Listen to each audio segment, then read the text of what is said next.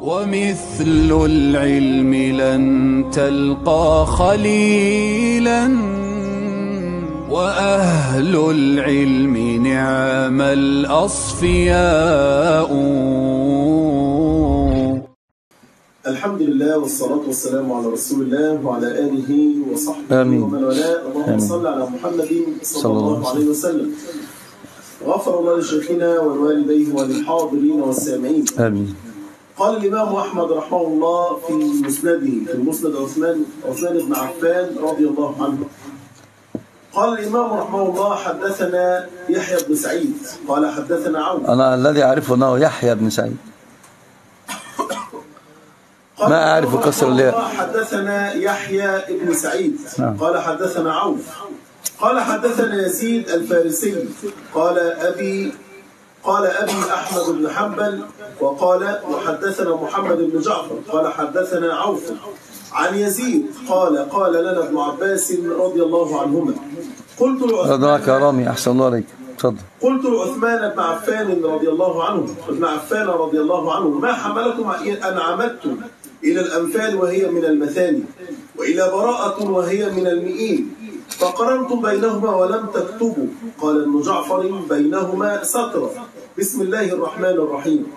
ووضعتموها في السبع الطوال ما حملكم على؟ طول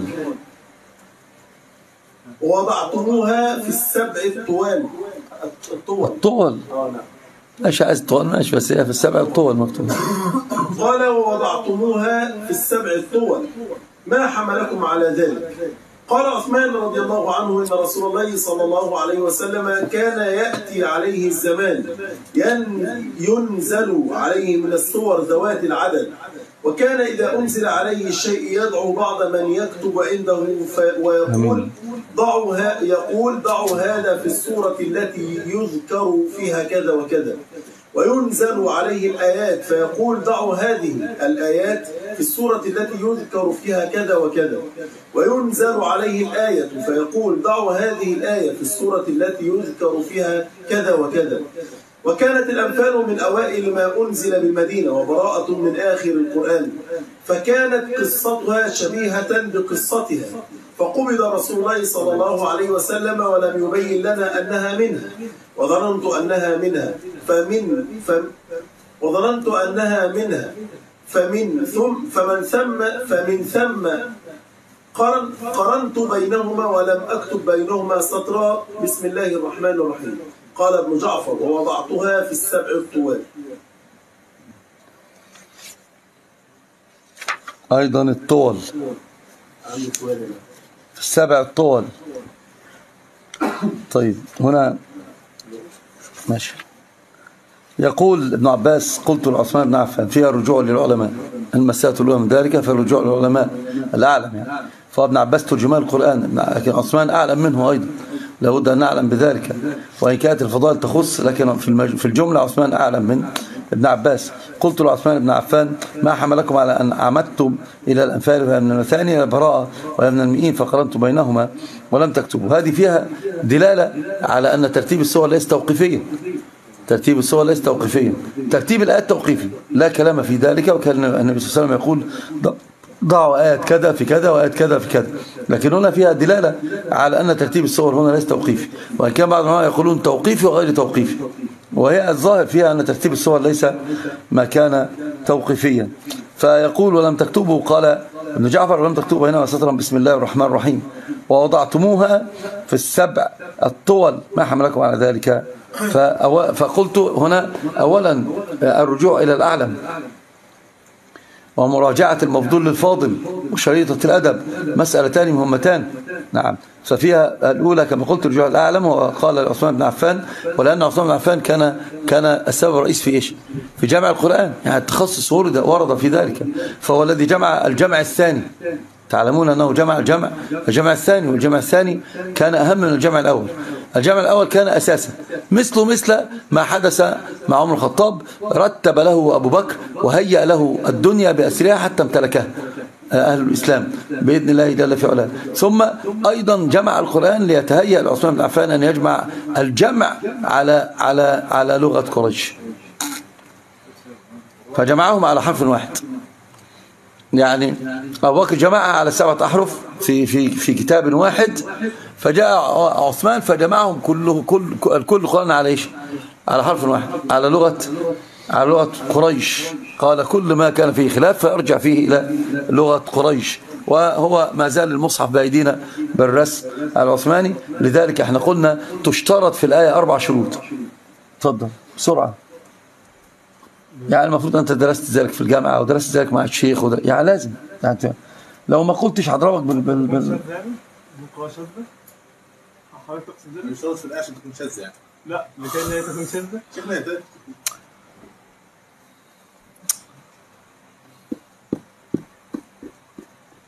حضرتك درست ده ولا ما درستوش؟ درسته؟ عارفه ولا مش عارف؟ عارفه؟ يعني؟ الأخ إبراهيم إبراهيم بجواري بس هو شروط الواد بينام بتشوفه تنام. يا منوفي ده انت كنت بتسيب الدرس تقول لي كنت بذاكر. بذاكر القرآن عشان امتحن. انت سقطت؟ رسبوك؟ من أول بس أنا فاكر بفتكر.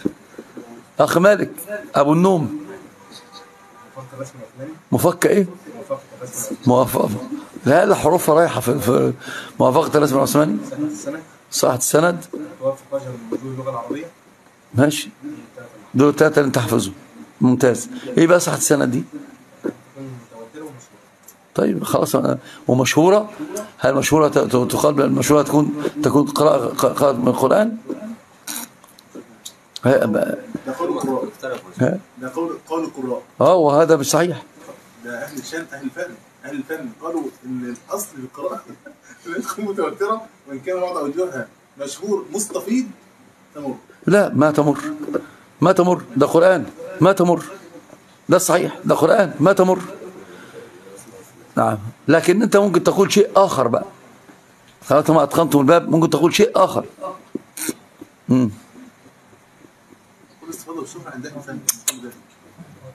تكون آحاد في قراءة ومتوترة في قراءة أخرى. إحنا بنتكلم على هذا. لو لو كانت بسم الله الرحمن الرحيم. الملكية ما يعتدوها لما؟ لا الذي تكلمنا فيه. أي نعم. فلذلك نحن نقول في الجملة لابد الكل يكون متواتر. ماشي وبعد الأول لذلك عثمان بن عفان نعم. وبعد الأول مشهور على قول أهل الصنعة لا تكميل. شوف شوف أهل صنعاء في أسس معينة في هذا الباب. الأسس المعينة هذه بالنسبة لكتاب الله لكلام الله جل في علاه ما فيش أي انفصال فيه بحال من الأحوال. ولو قلت لي أهل صنعاء قابلوه أقول لك أهل صنعاء لا يؤخذ بقولهم ما دام خالف التأصيل. التأصيل لا يخالف. وبعدين ده كلام الله جل في علاه قرآن. لذلك قلنا في مسألة القراءة الشاذة هم قالوا يعمل بها هو الآن على أنها إيش؟ حديث نزلوا بها حديث نقول له ما ما يصح العمل بها؟ بحال من الأحوال. لأنا بتكلم عن القرآن. لابد شروط كلها تكون متوفرة. أقول إخوتي الكرام هنا عثمان بن عفان جمع القرآن على حرف واحد. ما بيسمعوش كلامه هذا يضايقني. يعني هم ما سمعوش الكلام في الاثنين مش سهل أصلا. يا إيه ده اللي أنت جبته؟ ده؟ بال- باللبن مين اللي قالك تيجي بقى باللبن قريبة من السحب من يا عم آخد بعض وامشي يلا كده أنتوا بتجتهدوا فينا يا جدعان. تعال خد بقى حاجات ده. خدها بقى نصير بس. قال قال قال يا ابني أنت بتجتهد فينا يا ابني. هو ده اجتهاد فينا. تمام؟ بتجتهد ما هو بي- قال لك زيد انت رحت جبت له عميرة مش عبيد جبت له عميرة. وتقول أنا بحسبه بيهزر والله. حاسس إن هي تقريبا. هو الراجل قال لي كده أنا بحسبه بيهزر. لا مش هشرب أي حاجة خدهم بقى كله كله خد شيخ إبراهيم جاهز. آه شوف إبراهيم اتفضل. الرحمن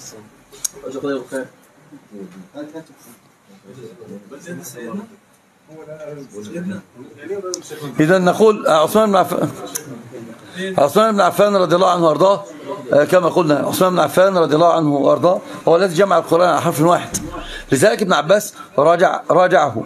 فقال له لما فعلتم ذلك؟ قال عثمان إن رسول الله كان مما يأتي آه، عليه الزمان يعني ينزل عليه من السورة آه، السور ذوات العدد وكان إذا أنزل عليه شيء يدعو بعض من يكتب عنده يقول ضعوا هذه في السورة التي يذكر فيها كذا وكذا. وين- وينزل عليه الآيات. طبعا هذه أخذوا منها على عدم تسمية السورة بشيء فيها. يعني ولذلك أنكر الحجاج سورة البقرة والصحيح أن ورد عن الصحابة عن غيرهم السورة بتسمية شيء فيها وهو سورة البقرة. قالوا ننزل عليهم الآيات فيقول ضعوا هذه الآيات في السورة التي يذكر فيها كذا وكذا. وينزل عليه الآية فيقول ضعوا هذه الآية في السورة التي يذكر فيها كذا وكذا. وكانت الأنفال من أوائل ما أنزل بالمدينة. وبراءة من آخر القرآن. فكانت قصتها شبيهة بقصتها. فقبض رسول الله صلى الله عليه وسلم ولم يبين لنا أنها منها. وظننت أنها منها. فمن ثم قرنت بينهما. وهذه فيها دلالة واضحة جدا على ما قلنا وش اللي قلناه وش اللي قلناه وش اللي قلناه لسه بحث لو لو ابحث عنه تعالى لي. نورين. لكن شنو؟ شنو؟ يعني جابها فهلوة لكن جت هذه دلالة ترتيب الآيات؟ توقيفية. أه، ضعوا هذا في السورة كذا وسورة كذا. جت فهلوة مع حضرتك آه ماشي. آه، و و وترتيب الصور. ترتيب الصور ليس توقيفيا ترتيب الصور في, في إيه؟ تعملين إيه تحت رجلي؟ في إيه اللي تحت رجلي؟ عاملين إيه؟ مين اللي حاطط استغفر الله. مين اللي يحط ده تحت رجلي كده؟ مين اللي بيعمل كده؟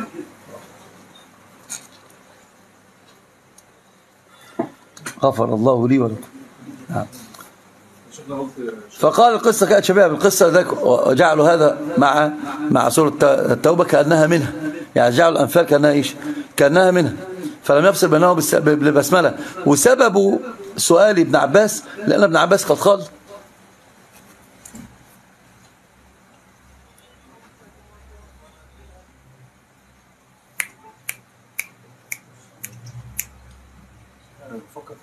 فكر فكر.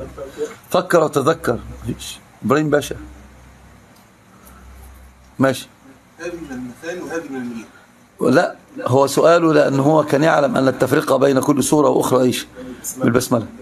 فهو سأل في هذا قال قال ولم تضعوا بسم الله الرحمن الرحيم. يعني لم تفرقوا. قال كنا نعلم انقضاء السورة أو ابتداء السورة بإيش؟ بالبسملة.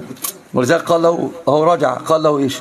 قال ولم تكتبوا. بسم الله الرحمن الرحيم. ولذلك هو قال له يعني كأنه عثمان يشير أنها من الصورة وهو يقول ليس من الصورة أن هذه من المثاني وهذه من إيش؟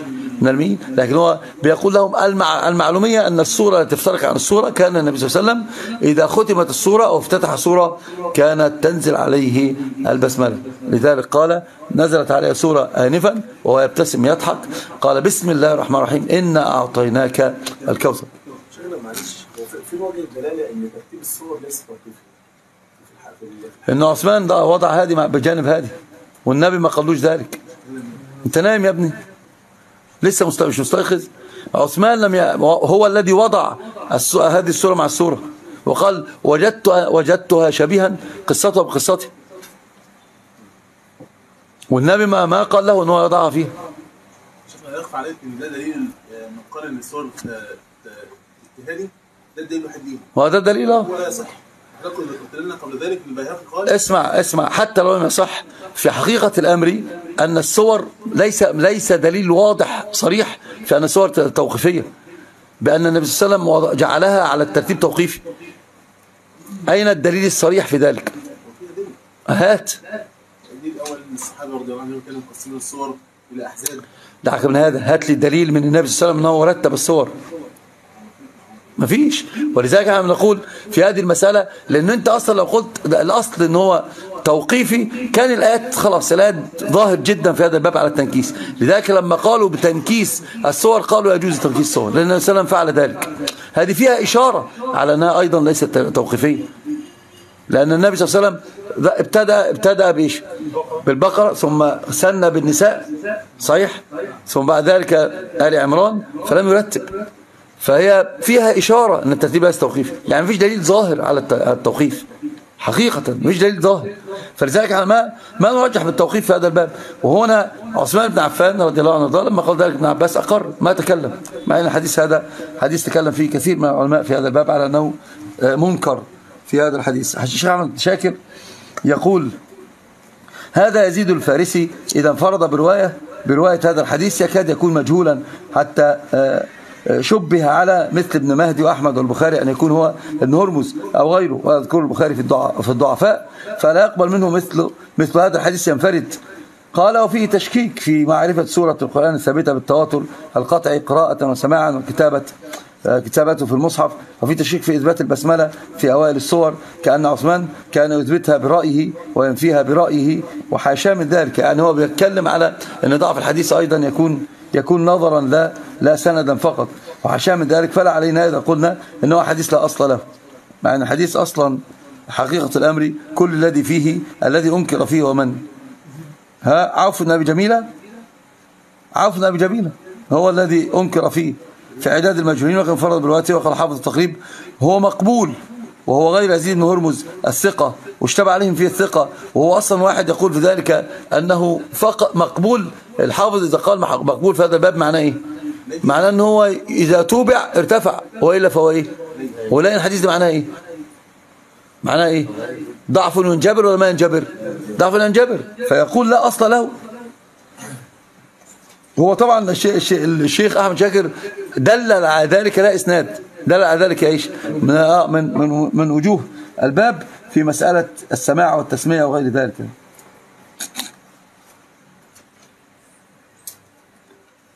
يقول وقال حفظ حجر في شرح نخبة في الكلام على أمارات الحديث الموضوع منها ما يؤخذ من حال المروي كأن يكون مناقضا لنص القرآن أو السنة المتواترة أو الإجماع القطعي. وقال الخطيب في كتابه الكفاية ولا يقبل خبر الواحد في منافاة حكم العقل. وهذا هذا خطأ بين. وهذا أيضا خطأ بين. ما يأخذ به الشيخ شاكر في هذا الباب. يقول شوف شوف الكلام. بيقول يقول ولا يقبل خبر الواحد في منافاة حكم العقل. إذا ثبت خبر واحد فده ده مستق... ده العقل لابد أن ينزل تحت تحته ولا ولا ولا يعارضه. وحكم القرآن ثابت المحكم والسنة المع- المعلولة المعلومة والفعل الجاري مجرى السنة وكل دليل مقطوع به.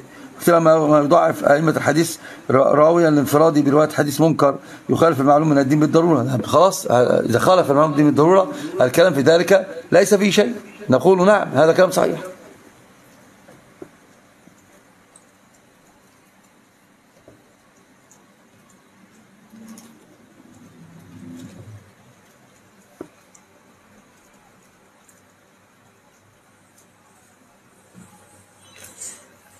قال أو يخالف المشهور من الروايات فأولى أن نضاعف يزيد الفارسي هذا بروايته هذا الحديث منفردا به إلى أن. إلى أن البخاري ذكر في الضعفاء وينقل عن يحيى القطان كان كان يقول يكون قال قال أنه كان يكون مع مع الأمراء يعني التضعيف بالقرب من السلطان وده طبعا لا يضاعف أصلا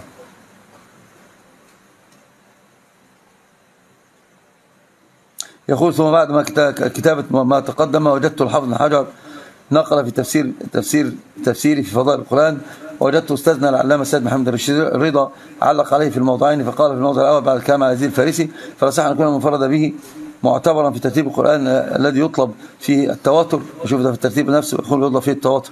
وقال في الموضع الثاني فمثل هذا الرجل لا لا يصح أن تكون روايته التي انفرد بها مما يؤخذ في ترتيب القرآن المتواتر هذا عج- عجيب عجيب. وأصالة مع أن الرجل ضعفه ليس ضعفا كبيرا. يعني الضعف ليس ضعفا كبيرا. هكذا كاد يوافق ما ذهبنا إليه فلا عبرة بعد هذا كله في هذا الموضع بتحسين الترمذي. والترمذي تحسين الترمذي يطرح من أجل مسائل, مسائل نظرية لا يقبل هذا في حال من الأحوال. الترمذي تعرفين من الترمذي؟ وكم الترمذي؟ وكيف الترمذي؟ الترمذي أصلا تلميذ البخاري. الترمذي من أنجب تلاميذ البخاري. الترمذي كتابه فيه إظهار العلل أكثر من كتاب البخاري. كتاب الترمذي فيه إظهار العلل وذهاب المذ- المذاهب الفقهية أكثر من البخاري. قال قال لا عبرة بعد هذا كله في هذا الموضع بتحسين الترمذي وتصحيح الحاكم وموافقة الذهبي يعني عندنا دلوقتي تحسين ترمذي تصحيح حاكم موافقة من؟ الذهبي والذهبي الذهبي. هذا فحل الفحول في علم الرجال من المتأخرين في هذا الباب. لكن حقيقة يعني تعقيبه واستدراكه على المستدرك كان صغير السن. لكن كما قلنا واسع العلم في هذا الباب. وإنما العبرة إنما العبرة للحجة والدليل. وين الحجة والدليل؟ أين الحجة والدليل في أن يقال بأن الحديث لا أصل له؟ أين الحجة والدليل؟ المسألة هو صراحة افترض افتراضات. ما أرى الوزن فيها وزنا كبيرا في هذا الباب لكن هي على عوف بن أبي جميلة هات وسع طلع ترجمة عوف بن أبي جميلة. هم؟ آه خ... آه لما لما قال الحافظ دائما بيقول مقبول في إيش؟ في الذي قيل فيه مجهول وهو وذكر ابن حبان في الثقات هو ده بيقول فيه مقبول على طول. فلما يقول مقبول لازم واحدة من الاثنين تكون موجودة. يزيد قال فيه مقبول عوف قال فيه مجهول. يزيد الفارسي قال فيه مقبول. وعرفنا بجميلة. قال فيه مجهول. طب لحظة بس. وهو في عدات المجهولين وقد انفرد بالوقت وقال الحافظ في التقريب مقبول. ده كان عفوا ابي جميله ارجع بس ارجع فيها. عفوا ابي جميله أصلا هو اللي قال فيه مقبول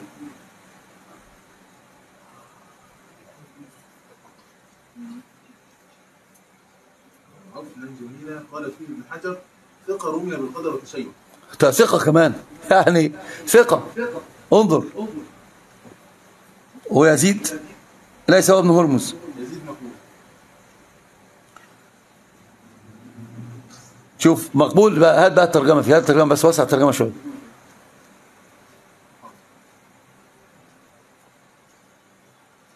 قال يزيد بن هرمز هو يزيد الفارسي. وعبد الله بن يزيد بن هرمز الذي يحدث عنه مالك وابنه وقال انكر يحيى بن سعيد القطان أن يكون واحد.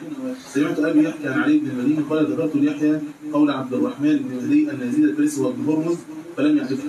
وقال كان يقول مع كان يقول مع الأمراء وقال أبو ليلى عن مالك بن دينار عن يزيد الفارسي كاتب عبيد الله يعني ابن زياد. وقال ابن أبي حاتم أيضا فسمعت أبي يقول يزيد بن هرمز هذا ليس بيزيد الفارسي هو هو السؤال. فأما يزيد بن هرمز فهو والد عبد الله بن يزيد بن هرمز. وكان ابن هرمز ابناء الفرس الذين كانوا بالمدينة وجلسوا أبا هريرة مثل أبي السائب مولى هشام بن ونظراء- ونظرائه. وليس هو يزيد الفارسي البصري الذي يروي عن ابن عباس ويروي عنه عوف الاعرابي ولذلك المزي قال يزيد غير يزيد. ماشي. قال إنما روى عن يزيد بن هرمز الحارث بن أبي ذباب وليس بحديثه بأس وكذلك صاحب ابن عباس لا بأس به. قال ابن الجنيد قيل ليحيى بن معين وأنا أسمع يزيد الفارسي روى عنه أحد غير عوف قال لا. قلت ليحيى فإنهم يزعمون أن يزيد بن هرمز هو يزيد الفارسي الذي روى عنه الزهري وقيس بن سعد حديث نجدة. فقال باطل كذب. شيء وضعوه ليس هو ذلك. قال أبو حاتم رازي لا بأس به. قال ابن حجر في التقريب مقبول أه مش يعني الحديث كله محتمل التحسين. ما فيش يعني على ما قاله. وعندك تحسين تحسين آه، تحسين الترمذي وتصحيح الحاكم وموافقة الذهبي. لا لا. يقف على هذا الباب ونقول في هذه المسألة رجع ابن مسعود إلى كلام ابن. ابن رجع ابن عباس لكلام عثمان بن عفان رضي الله عنه وأرضاه وأقره على ما قال. قال فقول رسول الله لنا أنها منها وظننت أنها منها فمن ثم فمن ثم قرنت بينهما ولم أكتب بينهما سطرا. بسم الله الرحمن الرحيم. قال ابن جعفر ووضعتها في السبع في السبع الطول أو السبع الطول. الفوائد المستنبطة رضي الله عنك يا أحمد. العلم بالسؤال, بالسؤال والجواب. وهذه من أعظم أساليب التعلم. أو التعليم بالسؤال والجواب. مراجعة المفضول الفاضل. طبعا شهادة الأدب. الاجتهاد في ترتيب الصور. لو في أسئلة؟ تفضل. يا طالب العلم قم لا تنم فإن الزمان طالب العلم قم لا تنم فإن الزمان انقضى وانصرم. فكن ما حييت ضنينا به فظنك بالوقت عين الكرم. وكن حلس درسك وافرح به. تكن قائدا في غد للأمم وبادر شبابك من قبل أن يقطع عزمك سيف الهرم. ودع ما استطعت فضول اختلاط وأكل ونوم وقول يذم وصاحب نبيلا ولا تكثرن فكم مكثر يا أخي حرم وحقق إذا رمت شيئا ولا تسمن بوهمك ذات الورم رأيت العلوم وأصحابها لدى كل ذي فطرة تحترم. فإن رمت يا صاحبي رفعة بدنيا وأخرى فلذ بالقلم. وأخلص لربك واعمل بما علمت وإن تلقى فيه الألم. وصابر وثابر ولا تكسلا فإن الهموم بقدر الهمم. فإن الهموم بقدر الهمم